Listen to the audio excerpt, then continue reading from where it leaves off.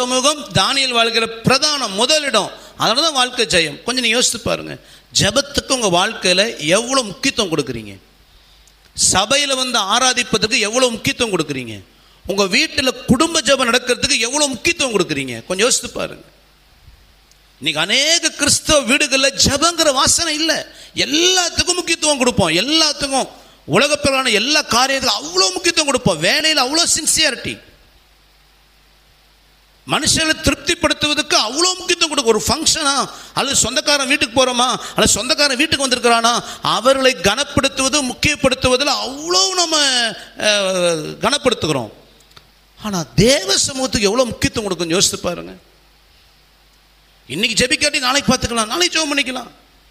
காலையில் ஜெபிக்காட்டி என்ன? சாயந்தரம் ஜோம் பண்ணிக்கலாம். சாயந்தரம் ஜெபிக்காட்டி என்ன? ரை- ராத்திரி ஜோம் பண்ணுவோம். இன்னைக்கு ஜெபிக்காட்டி என்ன? நாளைக்கு ஜோம் பண்ணிக்கலாம். இன்னைக்கு சர்ச்சுக்கு போகட்டி நாளைக்கு சர்ச்சுக்கு போய்க்குவோம். இந்த வாரம் போகாட்டி அடுத்த வாரம் போய்க்குவோம். ஏன்னா முக்கியத்துவம் இல்லை.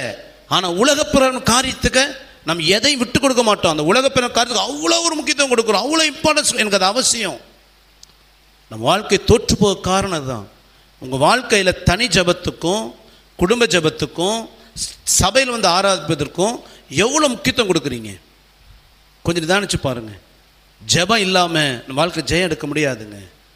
தானியல் தன்னுடைய ஜெப வாழ்க்கையில் தேவ சமூகத்தை பிரதானமாக வைத்திருந்தான். தாவீது நல்ல ஒரு ஜெபிக்கிற மனுஷன்.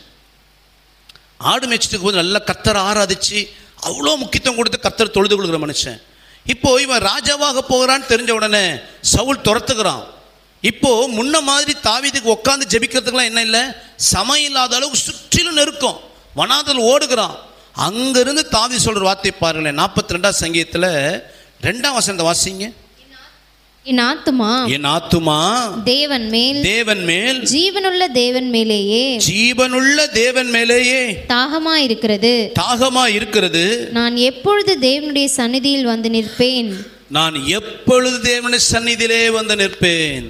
தாவீது எதை குறித்து ஏங்குறாரா எதை குறித்து ஏங்குறாரு? இவர் ராஜாவாக அபிஷேகம் பண்ணப்பட்டுட்டாரு. ஆனால் அந்த ராஜா அரண்மனைக்கு போயிடக்கூடாதுன்னு தான் சவுல் துரத்திட்டு இருக்கிறான். இப்போ இது காடு மலை சுத்தும் பொழுது எப்போ நான் அரண்மனைக்கு வருவேன்? எப்போ சிங்காசனத்தில் உட்காருவேன்? எப்போ நான் ராஜ கிரீடத்தை தலையில் வைப்பேன்? அப்படின்னு ஏங்கலை. அநேக நெருக்க மத்தியில் தாவீது புலம்புகிறான். அவன் இருதயமெல்லாம் ஒன்னே உனக்கு கேங்குதான். எப்பொழுது நான் கத்துடைய சந்நிதியிலே வந்து நிற்பேன்? லேலூயா லேலூயா நமக்கு அந்த ஏக்கம் இருக்குங்களா? கொஞ்சம் யோசித்து பாருங்கள் ரொம்ப சின்ன சின்ன விஷயத்துக்கு கூட அற்பமான காரியங்களுக்கு கூட ஜெபத்தை ரொம்ப ஆசை பண்ணுகிறோம். அது தனி ஜெபமாக இருக்கட்டும் குடும்ப ஜெபமாக இருக்கட்டும் சபையில் வருகிற ஜெபமாக இருக்கட்டும் சின்ன சின்ன விஷயத்துக்கெல்லாம் அற்பமாக எண்ணுகிறோம். உலகத்தை ரொம்ப முக்கியப்படுத்தி தேவ சமூகத்தை ரொம்ப அசிர பண்ணுகிறோம். ஆகவே தான் பிசாசின் கிரியைகள் நம்ம வாழ்க்கையிலையும் நம்ம குடும்பத்துக்குள்ளேயும் வரும் பொழுது நம்மால் மேற்கொள்ள முடிவது இல்லை கொஞ்சம் நிதானிச்சு பாருங்க எதற்கு முக்கியத்துவம் கொடுக்குறீங்க? நான் ஊழியத்துக்கு வரும் முன்பு வேலைக்கு போயிருந்த நாட்களில் நான் இருந்த சபையில் ஒரு நல்ல ஒரு சகோதரன் நல்லா படித்து சபையில் எல்லாருக்கும் அறிமுகமான ஒரு சகோதரன் எந்த ஊழியமான எல்லா விஷ- விஷயத்திலையும் வந்து முன்னாடி நிற்கிற ஒரு சகோதரன். அவர் வந்து ஒரு பிஸ்னஸ் செய்து கொண்டிருந்தார். அப்போது அந்த பிஸ்னஸ் சம்மந்தமாக எங்கிட்ட வந்து ஒரு நாள் பேசினார். பிரதர் நீங்கள் இப்படி வேலைக்கு போகிறீங்க இப்படி சம்பாதிக்கிறீங்க நீங்கள் இந்த பிஸ்னஸில் பார்ட் டைம் பிஸ்னஸ்ஸு நீங்கள் இதில் சேர்ந்தீங்கன்னா ஒரு நல்ல ஒரு இன்கம் வரும் அப்படின்னு சொல்லி அந்த பிஸ்னஸ் குறித்து நிறைய விஷயங்கள் பேசினார். இப்படிலாம் இன்கம் வரும் அப்படிலாம் இன்கம் வரும். நீங்கள் இந்த வயசில் நிறைய பணம் சேர்த்தலாம் உங்கள் லைஃப் செட்டில் ஆகலாம் அப்படின்லாம் பேசினார். ஆனால் அந்த சகோதரர் பார்த்தீங்கன்னா அடிக்கடி சண்டே ஆராதனை கட் ஆகிடுவார் சரிப்பா அதெல்லாம் இருக்கட்டும். நீங்கள் அடிக்கடி சண்டே சர்ச்சுக்கு வரதுல என்ன விஷயம்? பிரதர் இந்த பிஸ்னஸ் விஷயமா தான் நான் அந்த ஊருக்கு இந்த ஊருக்கு மீட்டிங் நான் போயிட்டு இருக்கிறேன் அப்படின்னாரு. அப்போ நான் சொன்னேன் இப்போ நான் பிஸ்னஸ் நானும் சேர்ந்தா நீங்களே கூட மீட்டிங் வரணும். எப்போ? சண்டே இப்போ நான் கேட்டேன் சண்டே இப்படி அந்த ஊர் இந்த ஊர் போகிறோமே ஆராதனை. பிரதர் போகிற இடத்துல சர்ச் இல்லாமையே போக போகுது? எப்படி? போகிற இடத்துல சர்ச்சு ஏதோ ஒரு சர்ச்சில் உட்காந்துக்குவோம். நான் சொல்ல புரியுதா உங்களுக்கு? ஏதோ ஒரு சபைக்கு போவோம் ஆனால் எனக்கு எது முக்கியம்? பிஸ்னஸ் நான் சொன்னேன் அப்படிப்பட்ட பிஸ்னஸ் எனக்கு எனக்கு ஏன் சபை முக்கியம். எனக்கு என் சபையில் சத்தியம் எனக்கு முக்கியம். எனக்கு கத்தர் வேலையை கொடுத்துருக்கிறார். கை நிறைய சம்பளத்தை கொடுத்துருக்கிறார். எனக்கு அது போதும் பிரதர் அந்த பிஸ்னஸ் வேண்டாம். எவ்வளோ ஒரு என்ன பிரெயின் வாஷ் பண்ண வேண்டாம்னு விட்டுட்டேன் அதுக்கப்புறம் கர்த்தர் நல்ல உயர்த்தினார். அதுக்கப்புறம் ஊழியத்துக்கு கொண்டு வந்தார். ஊழியத்தில் வந்துட்டேன். ஆனால் அந்த சகோதரன் ஆராதனை விட ஜெபத்தை விட பிஸ்னஸ் பணம் அவனோட அவனுடைய எண்ணமெல்லாம் பணம் பணம். ஜபம் ஆராதனை சபை அதெல்லாம் அப்புறம் அது எப்படி கிடைக்குதோ அட்ஜஸ்ட் பண்ணிக்கலாம். கடைசி என்னாச்சுன்னா நல்ல கம்பெனியில் வேலைக்கெல்லாம் போனார் நல்லா சம்பாதிச்சார். அதுக்கப்புறம் அவருக்கு எனக்கு எந்த கான்டாக்ட் இல்லை. இப்போ சமீபத்தில் அவர் சில ஊழியக்காரெலாம் சேர்ந்து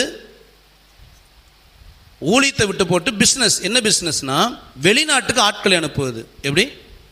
வெளிநாட்டுக்கு ஆட்கள். இது ஒரு நெட்ஒர்க் வந்து எனக்கு இப்போ தான் தெரியுது. இதுக்கு எல்லாம் யாருன்னா பாஸ்டர்மார்கள் இந்த ஸ்டேட்டுக்கு ஒரு பாஸ்டர் அந்த டிஸ்ட்ரிக்ட்க்கு ஒரு பாஸ்டர் இந்த டிஸ்ட்ரிக்ட் ஒரு பாஸ்டர் இவங்க வேலை என்னன்னா வெளிநாடு போன ஆசைப்படுற கிறிஸ்தவர்கள்ட்ட பணம் வாங்கி அவங்க வேலை செய்து அவங்களை என்ன பண்ணணும்? ஃபாரின் அனுப்பணும். இப்படி இந்த சகோதரன் சில விஷயம்லாம் செய்தார். சில ஊழியக்காரெல்லாம் செய்து கடைசியில் அது ஃப்ராடாகி கோர்ட்டு கேஸுன்னு போய் ஒரு பெரிய பிரச்சனையாகவே எழும்பினது. சாட்சி இல்லாமல் ஏன் இதை சொல்கிறேன் கர்த்த சமூகத்தை அசடை பண்ணிட்டு பணம் தொழில் சம்பாதிக்கணும் செட்டில் ஆகணும். இப்படி உலகத்தை பின்ன ஓட ஓட ஆரம்பத்தில் நிறைய வந்தது. இன்னைக்கு கர்த்தரும் இல்லை ஊழியமும் இல்லை பிஸ்னஸும் இல்லை. நல்ல ஒரு கல்யாணம் பண்ணாங்க. ஆனால் இன்னைக்கு அவர் குடும்ப வாழ்க்கையில் சமாதானம் இல்லை. உடன் பிறந்தவர் வாழ்க்கையில் சமாதானம் இல்லை. அந்த குடும்பமே கல்லடிப்பட்ட கண்ணாடி செல்லு போல சிதைஞ்சு போயிடுச்சு ஆனால் எல்லாருமே வெல் எஜுகேட்டட் அந்த ஃபேமிலி எல்லாரும் வெல் எஜுகேட்டட் ஆனால் ஒரு பயலும் கத்த சமூகத்து மேலே நாட்டமே இல்லை. எல்லாருக்குமே பணம் பணம் பணம். நீங்கள் அந்த குடும்பமே செதஞ்சு போய் நிற்கிது ஏன் அதை சொல்லுகிறேன்? தேவ சமூகம் நம்ம வாழ்க்கையில் பிரதானமாக இல்லைன்னா நம்ம வாழ்க்கையில் பிசாசின் கிரிகள் மேற்கொள்ளும். நம்ம வீட்டுக்குள்ளே குடும்ப ஜெபத்துக்கு முக்கியத்துவம் நம்ம தரல அப்படின்னா நம்ம குடும்பத்தில் சத்துருன் கிரிகள் மேற்கொள்ளும். கொஞ்சம் நம்ம நிதானித்து இந்த தாவிதை போல தானியலை போல தேவ சுமம் முதலிடம் கொடுங்க. தேவ சுமகம் பிரதானமாய் மாறும் பொழுது நம்ம ஜீவிய மகிமையா இருக்கும். அலையிலூயா. தானியல் அப்படிதான் பண்ணார். எதுவும் எனக்கு கத்தர் என்ன செய்யக்கூடாது தடைய வந்துடக்கூடாது ஆகவே ரோமர் பன்னிரெண்டு பன்னிரெண்டு வாசித்தீங்கன்னா ஜெபத்தில் உறுதியாய் தரித்திருங்கள். எப்படி இருக்கணுமா? ரோமர் பன்னிரெண்டு பன்னிரெண்டு ஜெபத்தில் உறுதியாய் தரித்திருங்கள். அப்படின்னு என்ன அர்த்தம் என்ன வந்தாலும் ஜெபத்தை விடாத. எவ்வளோ தலைக்கு மேலே வேலை போகட்டுமே. உலகப்புறம் எவ்வளோ ஆசீர்வாதங்கள் வாழ்க்கையில் வரட்டும். எவ்வளோ பிரச்சனை வாழ்க்கையில் வரட்டும். ஜெபத்தில் ஸ்ட்ராங்காக இரு. ஒரு பக்கம் பிரச்சனை வந்தாலும் ஜெபத்தில் உறுதியாரு ஒரு பக்கம் ஆசீர்வாதத்துக்கு மேலே ஆசீர்வாதம் வந்தாலும் ஜெபத்தில் உறுதியாரு எவ்வளோ பெரிய வேலை கிடைச்சாலும் உறுதியாரு ஜெபத்தில். உனக்கு உலகத்தில் எவ்வளோ பேர் புகழ் கிடைச்சாலும் ஜெபத்தில் உறுதியாரு நீ ஜெபத்தில் உறுதியாக இருந்தால் சாத்தானை ஜெயிக்க முடியும். அலையலூயா